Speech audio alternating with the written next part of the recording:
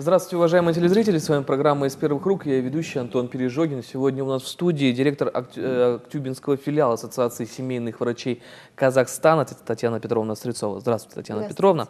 А, в этом году был принят э, новый национальный лекарственный формуляр в Казахстане э, буквально вот летом, в июле, если я не ошибаюсь. А, и вот сейчас как раз начались прения, ну, какие-то обсуждения этого нового лекарственного формуляра. Расскажите, пожалуйста, подробнее, а, чем он отличается от старого, э, и в особенности, что хорошего или плохого несет этот новый формуляр для а, обычных казахстанцев, обычных потребителей. Вообще казахстанский национальный формуляр, как и любой формуляр, это перечень тех препаратов, которые могут использоваться. И в частности, вот сейчас эта редакция формуляра предусматривает содержание препаратов, которые сейчас отпускаются в рамках гарантированного объема бесплатной медицинской помощи. Э, вообще э, формуляр у нас в стране существует уже много лет, с девятого года принципиальной разницей нового формуляра, который, э, в общем-то, создание которого утверждено в декабре, а сейчас уже как бы есть приказ о том, что он должен всеми использоваться. Принципиальной разницей является то, что в этом формуляре содержатся только те препараты, которые имеют доказательную базу. То есть те эффективность и безопасность которых доказана э, объективными клиническими исследованиями, а не опирается на те данные, которые зачастую нам дают фармацевтические компании или реклама. Следовательно, в новой редакции формуляра, а это совершенно новое по заданию Минздрава и Министерства здравоохранения и соцразвития нашей страны, э, специально созданная группа экспертов, в том числе с привлечением иностранных специалистов в этой области, была создана новая редакция, и где каждый препарат прошел строгую-строгую проверку на то, может ли он вообще существовать.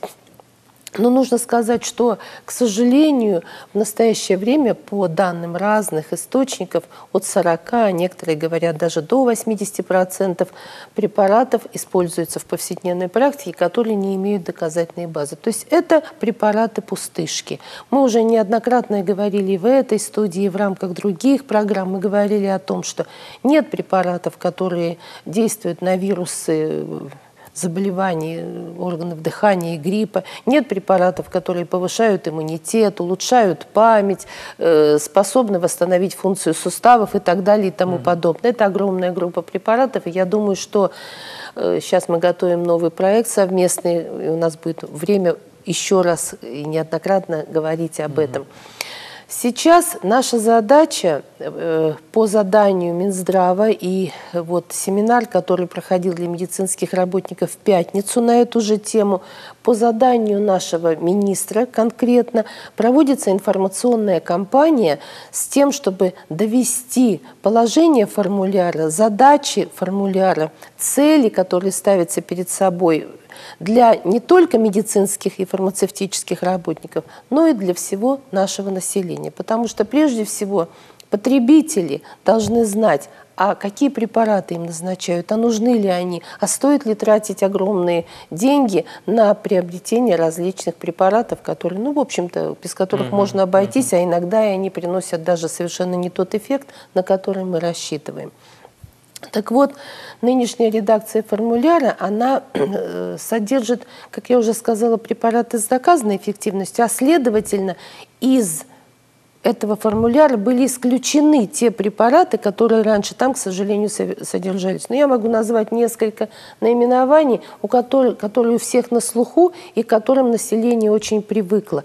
Это актовиген, эссенциали, церебролизин, кортексин, различные, как я уже сказала, иммунопротекторы, различные вифероны и прочие препараты. Их много, более 160 препаратов исключены были – и я хочу, обращаясь к нашему населению, к наш, гражданам нашего города, сказать, что это делается только для вашего блага. К сожалению, сейчас проблема, которая у нас перед здравоохранением, перед нашей страной стоит, это не недостаток препаратов, а наоборот избыток и огромное потребление лекарств, которые во всем цивилизованном мире уже давно не употребляются, потому что в их применении нет смысла. Население у нас очень привыкло лечиться. Мы тоже неоднократно об этом говорим, что зачастую необходимо просто изменить образ жизни и ни в коем случае не прибегать к капельницам постоянно по поводу и без повода. И сейчас значительно будет ограничено количество вот этих процедур, потому что эти процедуры должны применяться только по жизненным показаниям, только тогда, когда иначе помочь человеку нельзя, а не потому, что у кого-то заболела голова, нога или mm-hmm. еще какое-то место. У нас мы привыкли, забывая о том, что во всем мире существует статистика, почему-то у нас как-то мало об этом пишут. Если мы говорим о том, что на первом месте по причинам смерти, заболевания сердечно-сосудистой, затем онкологические, угу. то на третьем месте пишут американские исследователи и многие другие, это именно побочные эффекты лекарств. Потому что зачастую человек умирает от воздействия лекарств, а это списывается на то, что он умер от того заболевания, по поводу которого mm -hmm. его лечили. Но вы все прекрасно знаете о множестве аллергических реакций, которые приводят пациентов в э, отделение, в стационары или просто как-то справляются. Mm -hmm. То есть наша задача сейчас жить так, как живет весь цивилизованный мир. Потому что Всемирная организация здравоохранения неоднократно предупреждает, что если не будет наведен порядок с лекарствами, особенно с антибиотиками, я хочу обратить ваше внимание, уважаемые земляки, на то, что антибиотики не помогают при вирусных инфекциях. Сейчас будет, естественно, осень, всплеск угу. заболеваемости. Не помогают они при бронхитах вирусной этиологии. Не нужно назначать, потому что человек, взрослый или ребенок просто кашляет. Зачастую у него совсем другой, э, в общем-то, ну, происхождение этого кашля, и там нужно совершенно другую помощь оказывать. Антибиотики, если не будет такое употребление, какое у нас сейчас есть, то есть э, зачастую сами люди принимают, иногда в аптеках, что категорически запрещено фармацевтам рекомендовать какие-то препараты без назначения врача. А иногда и доктор, может быть, так сказать, немножко не подумав, назначает антибиотики тогда, когда не нужно. Мы придем к тому, что у нас будут заболевания, которые не сможем мы лечить, потому что антибиотики не будут воздействовать на те микроорганизмы, которые их вызывают. То есть грядет так называемая доантибиотиковая эра. Так вот, как раз формуляр, о котором мы сейчас рассказываем, о котором мы, э, в общем-то, пытаемся достучаться до сознания, что он именно направлен на то, чтобы улучшить состояние.